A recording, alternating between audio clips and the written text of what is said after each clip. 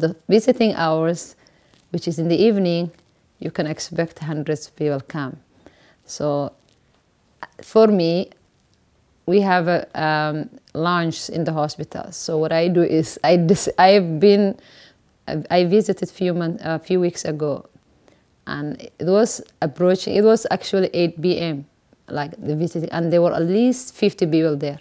Once you know the patient's palliative care and from Somalia, they have to have a lunch and they have to designate one person from the family, then talk to the family. We don't mind visiting, but you don't, more than three people are not allowed to come because it's not good for the patients. We know that they're tired, they cannot say hello, they cannot talk, you know, they're weak. And uh, what happens is the person is gonna try to make sure he gives and I, I mean, what thankful he has to show his thank for the person visiting. So that takes so much energy out of them. They need to preserve their energy. So the family, the spokesperson of the family, the healthcare provider has to sit down the family and explain to them this is what's happening. And we know you're going to be coming visiting, but this is the rules.